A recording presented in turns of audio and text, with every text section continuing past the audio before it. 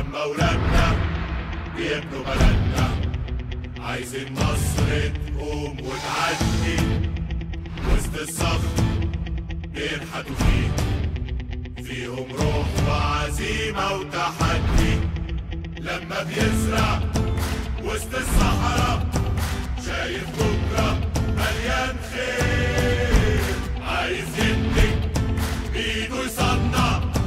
أصل دي مصر وخيرها كتير نبدأ بس الأول وإحنا معاك من كل مكان قوم ونحدى ظروفك يلا لازم تبقى ابن الجدعان لازم تبقى ابن الجدعان لازم تبقى ابن الجدعان الجدعان أهلا بحضراتكم في برنامج الجدعان. الأسبوع ده وعلى مدى حلقات الخميس والجمعة والسبت. نقدم لكم حصاد لمجموعة من التقارير المهمة اللي عرضناها خلال الست شهور اللي فاتوا. ما ينفعش ننسى جدعان بلدنا أبدا. إحنا يوميا تقريبا بنتواصل معاهم. اللي بيزرعوا واللي بيصنعوا رايحين جايين عليهم لأنهم باختصار شديد جدا. اللي بينوروا الطريق قدامنا وبيهدوا لينا بكل حب وعن طيب خاطر. خلاصة تجاربهم. المشروع اللي هنزوره دلوقتي في منطقة الواحات البحرية مولود جديد في صناعة الدواجن لكنه مولود عملاق بجد. مدينة داجنة عملاقة بتنفذها مجموعة كايروس ريئي للدواجن. على مساحة 27 ألف فدان دفعة واحدة. فيها كل حلقات الصناعة. مزارع جدود أمهات تسمين معامل تفريخ مصانع أعلاف مجازر حديثة وكل حلقة مستقلة تماما عن الحلقات التانية. ومعزولة عنها بأبعاد وقائية حازمة وصارمة. وعلى فكرة دي أول مدينة متكاملة للدواجن في الوطن العربي الشرق الأوسط وأفريقيا. واستثماراتها تتجاوز 2 مليار جنيه. برنامج الجدعان انفرد حصريا بزيارة المشروع في الواحات واللي بيستهدف إنتاج 120 مليون فرخة تسمين سنويا في 14 محطة متكاملة بطاقة 400 ألف فرخة في الدورة وهيضم 75 ألف جد دواجن من سلالة الهبرد العالمية في خمس محطات جدود و800 ألف من أمهات الدواجن الهبرد في 8 محطات متكاملة ومجزر ضخم بطاقة 9000 طائر ساعة. ومعملين تفريخ الأول للجدود والتاني للأمهات. يعني منظومة ما حصلتش قبل كده في مصر. خلينا نبدأ ونقول للناس إن إحنا دلوقتي واقفين في عنبر من عنابر جدود. جدود اللي هي أعلى طبقات صناعة الدواجن الموجودة في مصر. في العنابر دي هيبقى فيه 75 ألف جد عشان ننتج بعد كده الأمهات منها للمعامل منها للتسمين مدينة متكاملة. هنتحرك إزاي؟ آه، طبعا في البداية ده ال- ال- ال- المشروع ده كان مبني أساسا على أساس ش- آه، سد الفجوة الاستيرادية. تمام؟ آه، لما جت الإدارة تفكر إنها تعمل مدينة داجنة كان ال- ال- ال- الرأي الفني إن إحنا نبدأ إزاي إن إحنا هنعمل بعد بيئي وإزاي هنعمل أمن حيوي في مكان زي كده واحد فيه جدود وفيه أمهات وفيه تسمين فلما بدأنا إن إحنا نشتغل وكأي أساس أي project الأمن الحيوي هو أساس كل حاجة دلوقتي. طبعا. آه، فاحنا بدأنا طبعا في الجدود انها زي ما حضرتك شفت وإحنا جايين في قلب الصحراء الغربية. آه، تبعد حوالي 25 كيلو متر من نقطة ال- ال- الانطلاق. آه، برضو البعد البعد البيئي بينها وبين ال- إحنا يعتبر هنا في آخر نقطة في المشروع صح كده؟ آخر نقطة في المشروع قبل الطريق الإقليمي تمام. تمام؟ آه، طبعا المخطط كله دي وحدة آه، ابيديميولوجية واحدة. آه، مقسمة إلى ثلاث مناطق أمن حيوي biosecurity zones كل منطقة لها معاملاتها طبقا آه، لل risk assessment أو معامل آه، الخطورة. ال- الجد الهبرد إحنا عاملين له عنابر دلع. يعني حاجة والمحطة كلها ثلاث عنابر بعكس التسمين بيبقى ست محطات أو ست عنابر. ف كتكوت الغالي ده هنقابله إزاي وهنتعامل معاه إزاي؟ وعرفنا عليه. عرفنا عليه هبرد اللي عمره أكتر معدي ال 80 سنة النهارده ولا 100 سنة. طبعا سلالة الهرد الهبرد من السلالات العريقة آه، في السوق المصري وفي العالم آه، كله. آه، يمكن مؤخرا استحوذ عليها عرق آه، افياجين آه، فبدأ يحط البصمات بتاعته والتأصيل يشتغل على على الهبرد آه، وبدأوا من ان هم ال merge ده والاستحواذ ده ينتج لنا أول أم آه، وسموها efficiency plus ودي أول مرة تنزل آه، مصر. ومن اسمها؟ هي efficiency. كفاءة الإنتاج فيها عالية جدا. سلالة مقاومة لل- آه، للأمراض. سريعة آه، النمو. آه، متطلباتها الغذائية آه، كويسة جدا. آه، مختلفة عن السلالات اللي قبل كده. إمتى هيبقى موجود في مصر؟ وتنتهي هذه العنابر بالكامل. وتشتغل بطاقة 75 ألف جد. إحنا إن شاء الله آه، يعني بنهاية هذا العام هنبدأ نستقبل أول آه، جد efficiency plus في مصر إن شاء الله. وكتكوت هيطلع بعد قد إيه بقى؟ يبقى كتكوت متاح في السوق. ممكن بعدها بست شهور أو بعدها بسنة هيبدأ يكون في كتاكيت آه، تسمين efficiency plus في السوق المصري الدكتور محمد راضي مدير المكتب الفني لمجموعة كايرو 3 للدواجن حاصل على الدكتوراه في علم الميكروبيولوجي. والمناعة بكلية الطب البيطري جامعة القاهرة وخبرته بتمتد لحوالي 16 سنة. هو من الناس اللي كانوا بيشتغلوا مع الخبير الهولندي العالمي في صناعة الدواجن فرناندو بار واللي ساهم في إنشاء أكبر مجموعات الدواجن في مصر والسعودية. يعني راجل علم لكل أهل صناعة الدواجن. إحنا عندنا هنا الجد والأم والكتكوت وكل حاجة غالية. العلب بتاعها وخصوصا لكتكوت الهبرد عشان الناس هتسأل. الكتكوت ده بياخد علف معين تركيبة معينة ولا أي علف في السوق ممكن ينفع معاه؟ الهبرد له طبعا زي أي سلالة مواصفات غذائية آه، مختلفة عن السلالات آه، الأخرى. بس طبعا إحنا مش هنحتفظ بالنو هاو م. إحنا هنديها للسوق آه، المصري. لدعم المربين بالظبط. إحنا بالظبط. إحنا هندي ال- ال- النو هاو بتاعنا للسوق المصري عشان الناس تعرف تجيب نتائج كويسة جدا بالهبر. بنسب تجانس آه، عالية وفرق بين الذكور والإناث يكون قليل. لسه معاكم في الواحات البحرية عشان بنزور أول مدينة داجنة في مصر واللي بتنفذها مجموعة كايرو 3 للدواجن باستثمارات تجاوزت 2 مليار جنيه وعلى مساحة 27 ألف فدان. كيان عظيم وصناعة الدواجن في مصر محتاجاه. تعالوا نقابل الدكتور وجدي اسكندر وهو مدير قطاع الدواجن في مجموعة كايرو 3 خبرة مهولة في صناعة الدواجن وهدوء رهيب في مواجهة تحديات المشروع والمفاجأة إنه في الأصل طبيب بشري تخصص نساء وولادة لكن صناعة الدواجن خطفته من زمان ركزوا معاه مكونات المشروع هنا إيه؟ يعني إيه مدينة دواجن؟ وليه كايرو 3 إيه؟ اللي مشهورة طول عمرها إن هي من أكبر شركات الحبوب في مصر وغيرها من المشروعات قررت الدخول في قطاع الدواجن بكل مخاطرته أكيد صناعة كبيرة جدا وفيها مخاطرة كبيرة جدا إحنا عندنا قطاع أمهات وعندنا قطاع جدود قطاع الأمهات هيكون تقريبا حوالي 14 مزرعة برضه آه، إحنا مخططين إن إحنا نبتدي بأول آه، ست مزارع على أمهات على شهر 3 2021 إحنا مخططين برضو على أول آه، السنة دي هيكون عندنا أربع مزارع جدود. طبعا مشروع ضخم استثمارات آه، معدية ال 2 مليار. آه، كل ده إن إحنا بنشجع الصناعة في بلدنا. مزارع أمهات الدواجن من سلالة الهابرد بالمشروع عددها 12 محطة في ست عنابر وكل محطة ومخطط ليها استقبال 800 ألف أم لإنتاج 80 مليون كتكوت تسمين سنويا. أما مجزر الواحات فهيكون بطاقة ذبح 150 ألف طائر يوميا من خلال ثلاث خطوط كاملة حديثة جدا. خليني أقول على ملاحظة كده شفتها وأنا ماشي في المشروع. في دقائق كتير. معنى كده إن الأرض هنا بنسبة كبيرة صخرية والجبال اللي بتحيط هي طبعا مانع طبيعي بيحمي المشروع كل المزارع في حضن الجبال. ولكن ال- الأراضي الصخرية مش هتحملك تكلفة كبيرة جدا في الإنشاءات. كانش في أرض بديلة نقدر نتوسع فيها في المزارع؟ آه، أنا شايفها من تحديات المشروع. طبعا. طبعا تحديات المشروع. إحنا المشروع لما خدناه فعلا اختاروا لنا الأرض دي وإحنا جينا شفناها ولقيناها إن هي مناسبة عشان في حتة ما فيهاش أي حاجة ولا سكن ولا تربيات. صحيح. آه، أول ما ابتدينا المشروع لقينا فعلا إن إن الأرض هنا صخرية. طبعا تكلفة إنك أنت تدق الصخر ده كله طبعا تكلفة أكيد أنا أنا عالية جدا. استغربت. بس إحنا برضو صممنا ان إحنا نكمل المشروع وبنفس السرعة وبنفس الأداء. بس طبعا تكلفة تكلفة عالية جدا. المية هنا أخبارها إيه؟ ومصدر الطاقة؟ المية هنا كلها أبيار.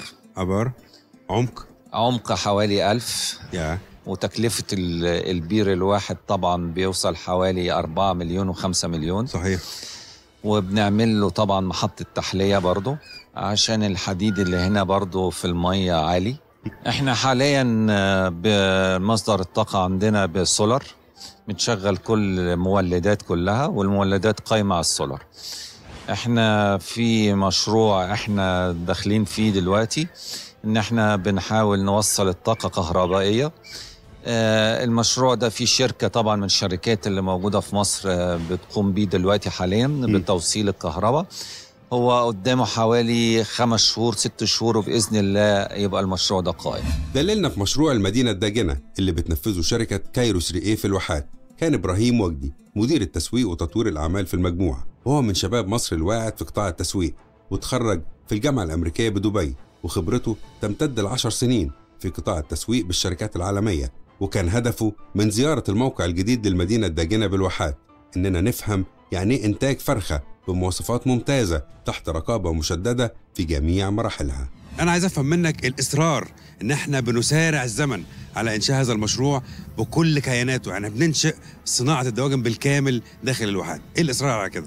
أول سؤال لازم برضو نقوله إحنا هنا مش جايين نغير الصناعة. إحنا هنا جايين نطور الصناعة. مم. فمع تطوير الصناعة لازم نخلي الأهالي أو اللي هم المربين الصغار اللي في إيديهم 80% من الصناعة. إن دول عمود أساسي في الصناعة دي. فاحنا جايين نعمل إيه؟ نوفر لهم مساعدات تسويقية دعم فني وتوفير خامات يقدروا آه، يستغلوا الموضوع ده ويطوروا آه، الجزء بتاعهم. طيب آه، الواحات هنا بندي ال- المربين الصغار للصعيد كلها. فاحنا هنا عندنا برضو موقع استراتيجي لجزء مهم جدا في صناعة الدواجن في مصر. طيب جينا نقول حاجة تانية. طب إحنا هنطور الصناعة دي إزاي؟ جزئين. أول جزء جزء التوعية أو توعية المستهلك. دلوقتي المستهلك لازم يبقى عارف آه، فراخ شهد أو فراخ الصناعات الشركات الاخرى عاملة إزاي والفرخه البلدي. لما تيجي ست البيت تقول لك الفرخه البلدي مثلا أرخص. ما هي أرخص عشان انت ما بتاخديش فراخ شهد فريشها أرخص وسخنة ومسكرة. آه، مسكرة دي آه، ذوق المستهلك. نعمل تيستنج ونشوف. أو نعمل حملة تذوق ونشوف. بس أرخص مثلا شهد ما بتطلعش بريشها. الفرارجي تبقى كارثة. كارثة. مشكلة. بس الفرارجي بيديك الوزن كامل. إحنا الوزن صافي لحم اللحم تلاقي إن شهد أرخص. تاني حاجة دلوقتي في الأزمة اللي إحنا فيها وانضف في المعاملة وحلال والناس في صحيه الجزء التاني بقى كل حاجة. ده جدا. اللي لازم نوعي عليه عليه ست المستهلك البيت دايما تقول لك برضو الفرخة البلدي دي فرخة مضمونة. طب ما إحنا في الأزمة اللي إحنا فيها دي مضمونة ليها معت- معتمدات كتير جدا. مضمونة؟ يبقى لازم تكون معاها الشهادات الجودة العالمية. مضمونة يعني تكون لازم انت عارف أصل وفصل الفرخه دي جاية منين بتاكل علف عامل إزاي. فدي حاجات كلنا لازم نبقى مركزين فيها. ودلوقتي الحاجة الثالثه الست البيت تقول لك أنا عايز أشوف الفرخة دي مذبوحه قدامي. طب ما في الأزمة اللي إحنا فيها وأزمة الكورونا والأيام اللي إحنا فيها دي ما ينفعش يبقى في طوابير واقفة قدام المحل. ما ينفعش السكينة اللي تكون بتستعمل تبقى مستعمل ليها نظافة وتعقيم. ولازم يبقى في قناعة كاملة أن الصناعة الوطنية أمينة على المستهلك المصري. ده ده. اللي لازم الكل يعرفه. ده أكيد. وعلشان كده إحنا قلنا جزئين توعية المستهلك وتطوير الأهالي أو المربين الصغار بحيث إن إحنا نقدر نوفي لسه طلبنا ونكمل مع المستهلك المصري المشوار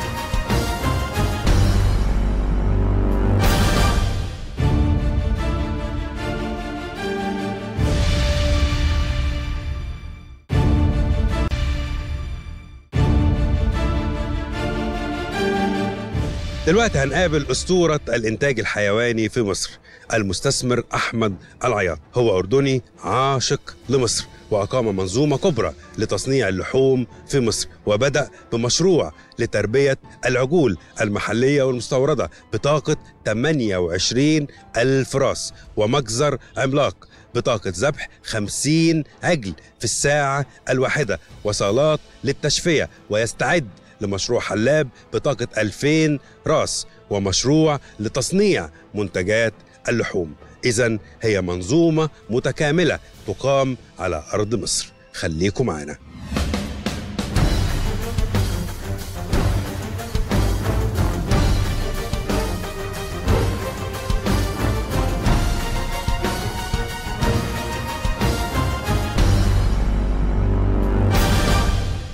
في عمق 6 كيلو متر تقريبا من طريق القاهرة اسكندرية الصحراوي وتحديدا خلف مزارع دينا.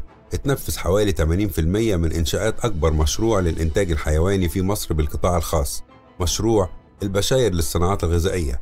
باختصار مشروع ولا الأساطير البرازيلية العملاقة في تصنيع اللحوم. وهدف مشروع البشاير اللي استثماراته تجاوزت 250 مليون جنيه لغاية النهاردة إن العجل يدخل من باب ويخرج مصنعات ومنتجات غذائية من باب تاني. يعني برجر وسوسيس ولانشون وبلوبيف وقطعيات لحوم مميزة ودهون وغيرها. يعني مفيش حاجة منه هتروح هدر. حتى الدم والعظم بنستفيد بيها. يعني قيمة مضافة عظيمة فعلا. مشروع البشاير اللي بينفذه المستثمر الأردني أحمد العياط ممثل آل العياط في مصر أكبر شركات الوطن العربي في قطاع الإنتاج الحيواني.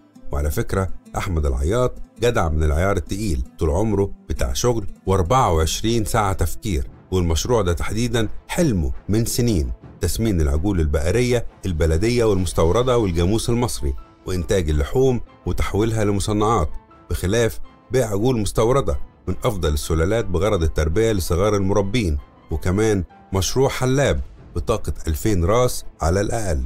احكي لي المشروع وصلنا فيه لغاية فين النهارده؟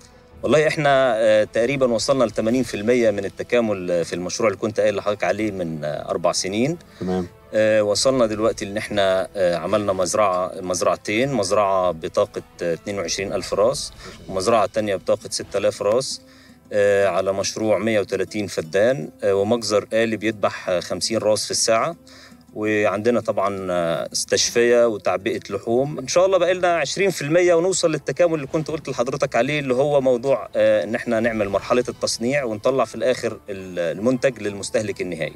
التصنيع بالنسبة لك كراجل بتاع إنتاج حيواني مهم بين لي أهميته إزاي؟ أهميته في إن أنت آه، بتوصل لمرحلة إن أنت وصلت للمستهلك النهائي بتوصل إن أنت آه، بتحقق للمستهلك منتج جيد مصنعات لحوم من لحمة حقيقية. بتور- بتوصلها له صويا بقى وكلام لا. لا نهائي إحنا بنتكلم في. لحوم حقيقية هيتوصل له على شكل مصنعات آه، مصنعات همبرجر سوسيس بالظبط محترمة آه، وإحنا لانشون. اول بالظبط آه. كده يا فندم بالظبط وإحنا أول مشروع آه، نشتغل في المجال ده ومن ساعة ما بدأنا نبني فيه وننشئ فيه آه، مع التراخيص أثناء استخراج التراخيص كنا ماشيين مع شركة للأيزو فكنا عاملين موضوع الجودة في مو في كل حلقات الإنتاج. من إنتاج حيواني لأعلاف آه، لغاية زراعة حتى من الزراعة لغاية بعد كده الذبح. كل ده آه، تحت إشراف الأيزو. الحمد لله حصلنا على ثلاث شهادات للجودة آه، متخصصة بسلامة الغذاء.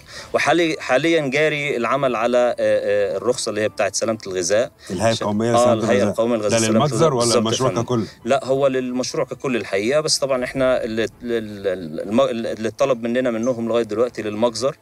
وإن شاء الله بإذنك يا رب خلال شهر ممكن نكون حصلنا عليها بإذن الله. إحنا واقفين في منطقة فيها عجول تربية. صح كده؟ بالظبط. كلها اوزان تقترب من 200 220 اللي أنا شايفه. صحيح ما تزيدش عن. كده صح كده؟ بالظبط كده. دي مستوردة من أمريكا اللاتينية؟ بالظبط فندم. دي مستوردة من أمريكا الجنوبية. آه، بقالها بالظبط كده 52 يوم. تحديدا منين بقى؟ آه، دي جاية من كولومبيا والبرازيل. ال- العجول البلدي رحنا لها من السنة اللي فاتت لما اتمنع عملية الاستيراد لفترة؟ بالظبط إحنا الحقيقة اتمنعت عملية الاستيراد لمدة تقريبا سنة.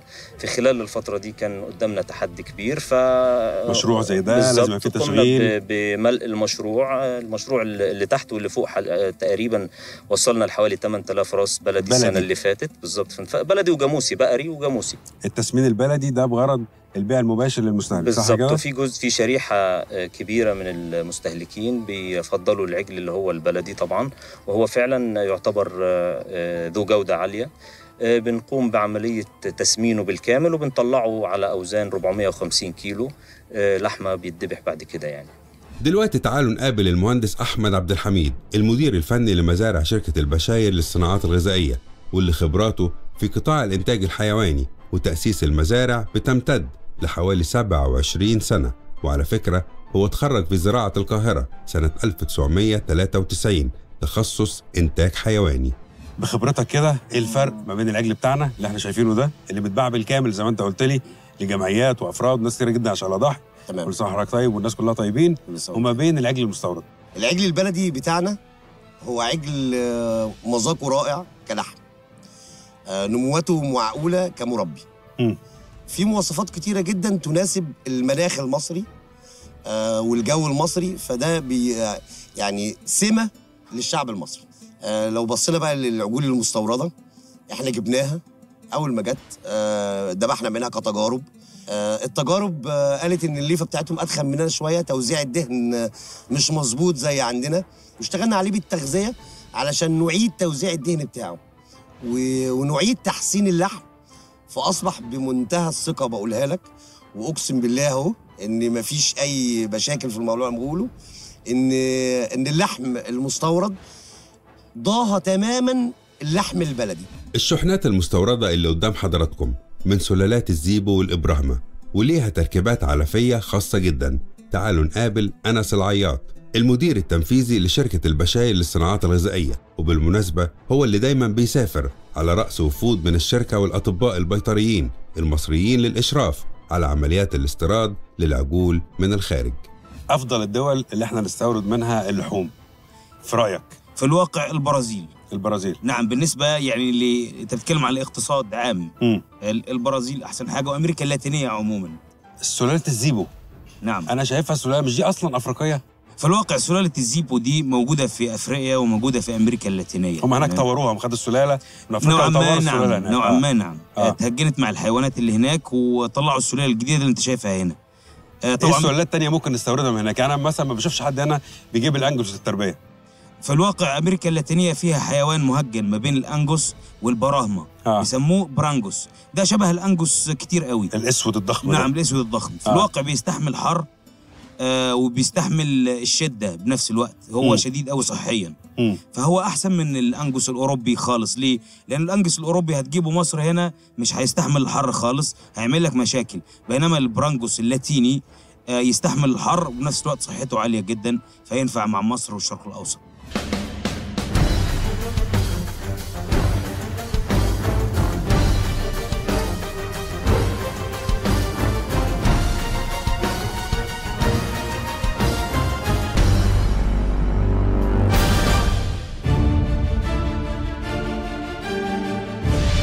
لكل عشاق المانجا. دلوقتي هنزور واحدة من أفضل مزارع نوبارية التي تنتج أفضل أنواع المانجو. صاحبة المزرعة الكابتن ريهام جاد كابتن منتخب مصر للسلة لسنوات طويلة ولكنها الآن تحترف زراعة المانجو وتصديرها لكل أسواق العالم. خليكم معنا.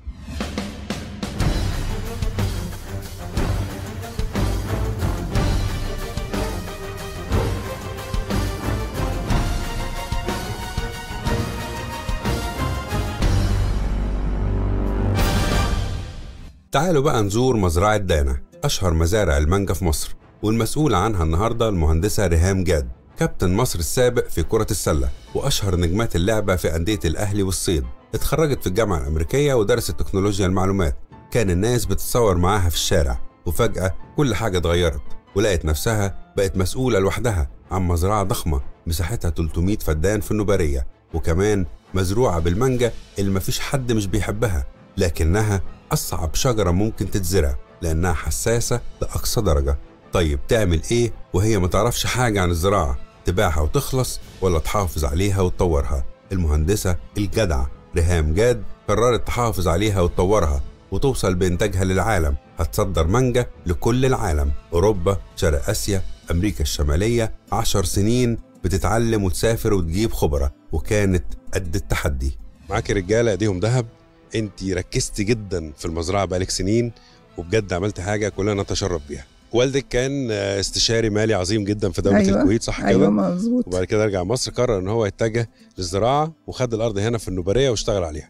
مظبوط. هو حب ما رجع من بره قال أنا عايز أعمل مشروع يفيد آه، المجتمع.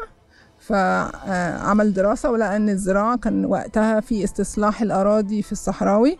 واشترى الأرض دي في النوباريه إحنا في النوباريه آه، 300 فدان وابتدى آه، من الأول خالص. ما كانش في تليفونات. آه صحراء. كان. في مية وكهرباء للري فقط. آه، وابتدى بقى خضروات آه، بطيخ. كده يعني ما طماطم بدأش كانتالوب. مانجا على طول؟ لا لا. ابتدى الأول إن هو ي... لازم. في الأول لازم تبتدي يعني الزراعة تبقى خضروات وبعدين واحدة واحدة بقى بيحول لأشجار. آه، فابتدى مشوار المانجا في نص التسعينات. آه، طبعا إحنا كلنا كنا عارفين المانجا اللي هو الفونس العويس تيمور. ده طبعا هي الأصناف المحلية بتاعتنا آه المشهوره الأصناف اللي موجودة في الشرقية موجودة في إسماعيلية. تمام. فكان بدأ بخمسة فدان. آه، ما جابوش الإنتاجية المطلوبة عشان تحقق فيها نجاح اقتصادي.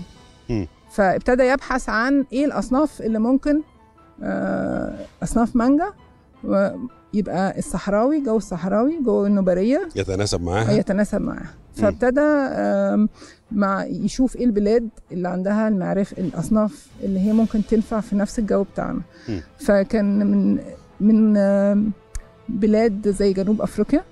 okay؟ فابتدينا نتعلم من جنوب أفريقيا إن في صنف اسمه Keitt في صنف اسمه Kent في صنف آه، اسمه آه، آه، Naomi. okay؟ ومن بلاد أخرى برضو مش جنوب أفريقيا بلاد أخرى. آه، فأصناف شفنا إيه الأصناف اللي تنفع؟ وابتدى هو مشواره في إن هو آه، يجيب الشتلات ويزرعها. بس أنت ساعتها كانت كل خبرتك إنك بتاكلي مانجا. أيوه. صح كده؟ اكتسبت خبراتك إن أنت ماشية النهارده معايا. آه. بتحكي لي على كل شجرة. بتقولي لي أيوة. أنا بكلم كل شجرة. أنا آه. بأكل كل شجرة ان أنا عندي 25 ألف ابن. أيوه بالظبط كده. ده الجملة اللي أنت قلتيها أيوه صح كده؟ أيوه. عندي 25 ألف ابن ما تقدرش تضحك عليهم. المانجا بالذات بقى آه أنا بسميها ابني ولادي المراهقين. يعني هم مزاج. ضفتي أصناف إيه هنا؟ إحنا ضفنا أصناف هايبي ضفنا ياسمينة ده صنف جميل. مم. والمصريين بيحبوه جدا. وضفنا R2E2 وده برضو آه، من مش دي أصناف تصنيع شوية؟ آه، R2 تحديدا؟ عشان مليان لحم وكبير. تصنيع لمصنع بيودي frozen mango لليابان. دلوقتي المهندسة ريهام جاد هنناقشها في ملف التصدير للمانجا المصرية لأسواق العالم. وعلى فكرة هي دايما بتفكر بره الصندوق وعندها رؤية متميزة لمستقبل صادراتنا من الحاصلات البستانية وتحديدا المانجا. أسواقنا كبيرة جدا. عندنا لبنان عندنا الأردن عندنا أوروبا عندنا شرق آسيا. صح كده؟ صح مظبوط.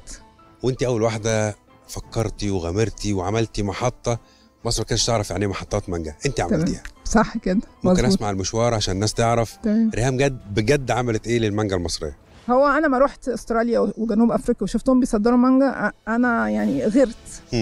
قلت إزاي مانجتنا أحلى مانجا في الدنيا وما نبقاش بنصدرها لأوروبا. تمام. يعني آه، المشاعر جوايا هي اللي حركتني أكتر من الاقتصاد. تمام. تمام.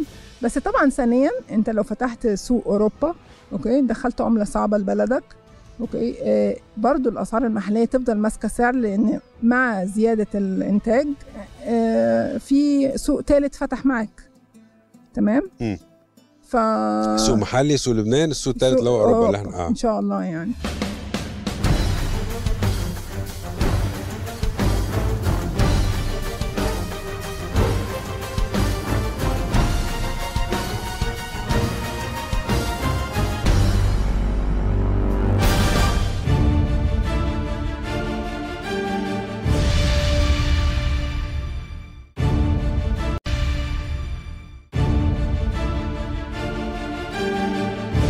دلوقتي هنزور في مدينة دمنهور بالبحيرة مملكة الشاب محمود الشرقاوي. هذا الشاب الصغير تسلم مشروع والده الخاسر في قطاع الثروة الحيوانية وتحدى الجميع ونجح بالفعل في تحويله إلى واحد من المشروعات الكبرى في الإنتاج الحيواني بمحافظة البحيرة. هذا الشاب اليوم يمتلك نحو 300 رأس من الأبقار والجاموس وينتج الألبان ويدخلها في الصناعة. كمان عنده مركز لتجميع الألبان. منظومة رائعة يقودها شاب لم يتجاوز من العمر 26 سنة. خليكم معنا.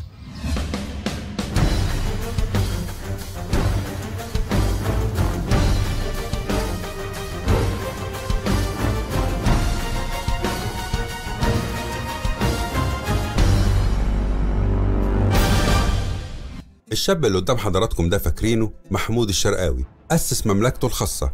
مشروع ممتاز في قطاع الثروة الحيوانية وأسسه بالكفاح والصبر لأنه باختصار شايف بكرة وعارف هو رايح فين. محمود الشرقاوي تحدى الجميع وتولى إدارة مشروع والده الخسران. مزرعة متهالكة بدائية قديمة جدا للتسمين والجاموس الحلاب واشتغل بتركيز واعتمد على العلم والوقاية من الأمراض مش مكافحتها والتغذية السليمة والتهوية الصح والرقابة البيطرية الصارمة. النهاردة وفي سنوات معدودة بقى بينتج ألبان جاموسي وبقري وعنده مشروع تسمين بقري والإجمالي بقى 300 راس بقري وجاموسي ملكه ومركز تجميع ألبان من المزارعين وبيصنع الأجبان الرومي والسمنة والزبدة. كل ده في عزبة الشرقاوي بمدينة دمنهور. اتفضلوا معانا. عايز أعرف منك حاجة مهمة جدا. ليه قررت إن البداية تكون من ترخيص المزارع؟ غيرك شغالين من غير ترخيص. أنت ليه كان قرارك أنا لازم أبدأ؟ صح. عشان خاطر آه، الدعم. آه، النقطة الأولى. تاني نقطة عشان خاطر آه، نشتغل صح. نعرف نوصل لحلمي. لأن طبعا الشغل العشوائي مش هيوصلني لأي حاجة. تمام. في سلالات جديدة كل يوم بتخش البلد. في لقاحات بيتم تلقيحها عايزين نوصل لأعلى من لأعلى منتج لأعلى إنتاجية من الألبان. يعني مثلا إحنا البلدي عندنا بيدينا إنتاجية من 10 ل 12 كيلو. لا إحنا عايزين نوصل ل 15 و30 و20 كيلو. زي الإيطالي؟ زي الإيطالي. لكن بالنسبة للوضع الحالي في مصر إحنا عندنا الجاموس بيعتبر ثلاث سلالات. الجاموس البحيري والمنوفي أو الفيومي أو والصعيدي. اديني فرق ليه ما اهتمتش بالأبقار؟ ليه ما اهتمتش مثلا بإن البقرة بتنتج كمية أكبر من اللبن؟ أو جبت مثلا هولشتاين وعملت مزرعة كبيرة. أنا عايز نقول لحضرتك إن النهارده اللبن البقري ب 5 جنيه سعر موحد. الجاموسي ب 10 جنيه. أصبح إن الجاموسة بتعادل اللبن البقري في السعر. دي أول نقطة. تاني نقطة اللبن الجاموسي. أعلى. جاموسي أعلى. آه أعلى 5 جنيه في الكيلو. آه الدسم أعلى البروتين أعلى كثافة أعلى. آه لاكتوز أعلى. كل حاجة في الجاموسي بتتميز عن البقري. والزياده على كده إن الجاموسة بتاكل نص الأكل اللي بتاكله البقرة. يعني الجاموسة ممكن آه بكيلو علف في الطاقه هتقوم بيه. ال- اللبن ال- الجاموسي بتورده المكان ولا بتستخدمه عندك يعني؟ بنستخدموه طبعا في بنعمل صفايح قشطة عبارة عن الصفيحة أو ال- آه، الأردة ال 50 كيلو. تمام؟ وفي آه، منه منتجات صغيرة. آه، بالنسبة للزبادي بنعمل عبوات زبادي. آه، بنطلع لبن شرب صالح للاستخدام. تنزل سوبر ماركت باسمك انت مثلا ولا بتعمل السوبر إيه؟ ماركت اللي بيجي ياخد مني. أنا عايز أسألك على حاجة مهمة جدا أنا شايفك مهتم قوي بالبتلو. ويعني عينك مع كل آه، عجل جاموسي بتلو بيتحرك وشايف الرقابة بتاعته عاملة إزاي والمتابعة بتاعته والتغذية بتاعته. مهتم جدا بده. غيرك بيذبح البتلو. غيرك بيذبح الإناث. ده سبب الخراب اللي مصر فيه النهارده. النهارده لما مثلا نذبح البتلو طب إحنا هن- هنعمل إيه بعد كده؟ ما إحنا هنفضل نذبح كل يوم نذبح كل يوم طب وبعد كده؟ ما هيجي عليه وقت وهينقرض مش هنلاقي بتلو تاني. تمام؟ لكن لما نحافظ عليه وبالذات الإناث أكيد هيبقى أنت كده بتحافظ على الثروة الحيوانية بتاعتك. وبعدين زي ما قلت لحضرتك من شوية الجاموسي غير البقري. الجاموسي ثروة المفروض إن كل ينزل أسود زي ما أنت بتقول. المفروض كل مصري يحافظ عليه بقدر المستطاع.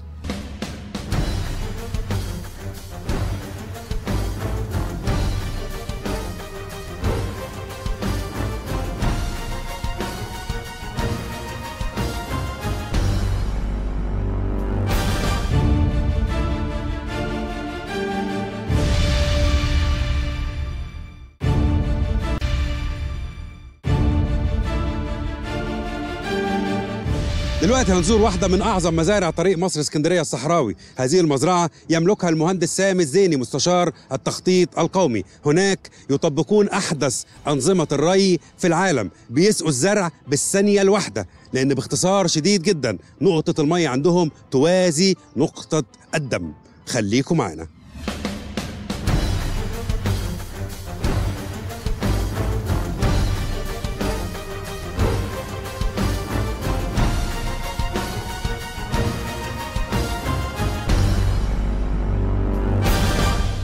تجربة فريدة من نوعها. شفناها في مزرعة الزيني بطريق مصر اسكندرية الصحراوي وهي الزراعة في الصوب بتربة مكونة من قش الأرز والرمل المعقم بنسبة واحد لواحد بطريقة الخندق وبصورة حديثة يستفيد فيها النبات بكل نقطة مية وتمنع إهدارها وتوفر في الطاقة والأسمدة العضوية وتعمل سرعة نمو غير طبيعية. يومها الدكتور ياسر عبد الحكيم استشاري الزراعات المحمية ورانا إن الصوبة اللي قدام حضراتكم دي ومساحتها 9 في 30 متر. والمزروعة بالفلفل الألوان أو الطماطم أو الخيار بتتروي بالكامل بواحد ونص متر مكعب مية بدل 30 متر مكعب مية في النظم العادية.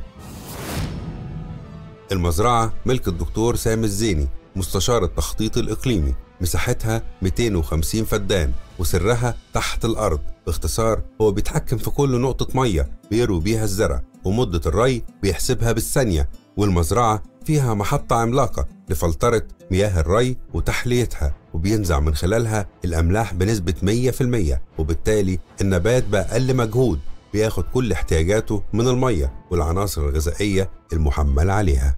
استخدام الرمل وقش الرز وقش الرز. والزلط. كوسيلة لتصريف المية صح. كده؟ تمام. إيه الموضوع؟ إحكي لنا الموضوع باختصار وبوضوح وبالأرقام. بمنتهى البساطة ال ال عندنا مشكلة الميه في مصر معروفة طبعا. وكل الهدف دلوقتي إن أنا أوفر في استهلاك الميه دي أهم نقطة. تمام. النقطة الثانية بيبقى في مشاكل أمراضية في التربة. دي كان كل سنة بنلجأ إن إحنا نعقم التربة وخاصة في الصوب يعني. مم. مرة في السنة كده أو مرة كل سنتين ببروميد المصايل ده أصبح محرم خلاص. المحظور. أيوه. أصبح محرم. أيوة. دوليا وممنوع استخدامه لاثره السلبي على صحة الإنسان. ففكرنا في بدايل للمبيدات. من ضمن البدايل دي إن إحنا نشتغل بتربة بديل كمان في نفس الوقت التربة البديلة نفسها هي وسيلة من الوسائل توفير استهلاك الميه تمام. فكان من ضمن الوسائل دي أنا عندي مشكلة في قش الرز مثلا. قش الرز بي- بيعمل السحابة السوداء عندنا معظم الفلاحين بيحرقوه فبيعمل مشاكل. في حين قش الرز نفسه هو قيمة ممتازة جدا كبيئة أقدر أزرع فيها. كله ألياف سليلوز بيمسك الميه كويس قوي ويمسك معاها العناصر الغذائية فهو بيئة خصبة للاحتفاظ بالميه والعناصر الغذائية. إحنا هنا آه، ده فلفل ألوان وراك فلفل الحريف الحريف، آه. الأحمر. آه. طبعا فطور النمو. إيه الفرق بين إن أنا أزرع بالطريقة دي والزراعة العادية؟ إنتاجية كويس. شكل النبات استخدامه للميه كل الحاجات دي عايز أفهمها. في ثلاث مشاكل لما بزرع في التربة العادية. بي اتش الأرض في مصر هنا أرض قلوية. دي. بتثبت لي ست عناصر بيروحوا على طول. النبات ده الكائن الحي اللي قدامي ده أي نبات بيتغذى على 13 عنصر غذائي معروفين. كويس؟ ال 13 دول 50% منهم تحت ظروف أراضينا دي بيترسبوا في الأرض. تمام. لأن جذر النبات ده بيمص سايل ما فيهوش سنان تاكل. ده شفاط. بيشفط.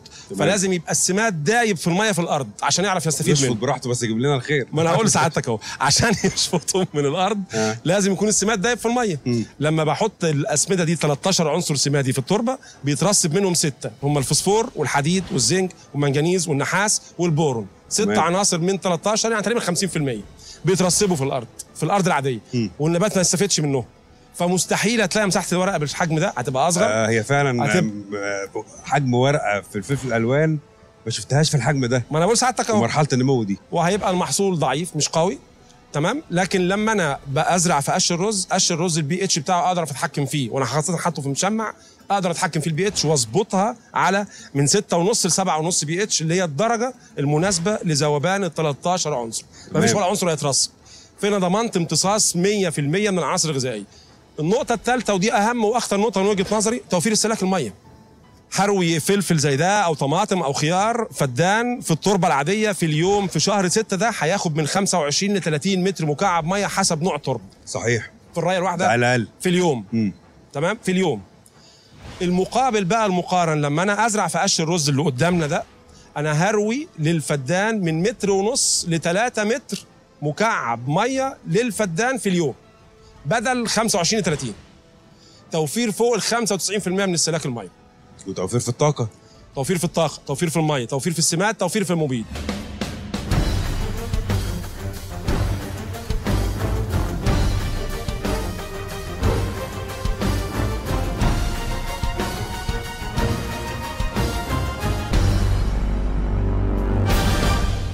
بكرة السبت رحلتنا مستمرة مع جدعان بلدنا وهتقابلوا معانا المهندس شريف الجبلي رئيس شركة إنارة للاستثمار والمسؤول عن توصيل الكهرباء في مساحة 500 ألف فدان في المغرة والمنيا. وهنتعرف على قصة نجاح الدكتور أحمد الكمار رئيس مجموعة هابسويت للصناعات الغذائية. وهنزور جنة الدقهلية في وادي النطرون على مساحة 1800 فدان.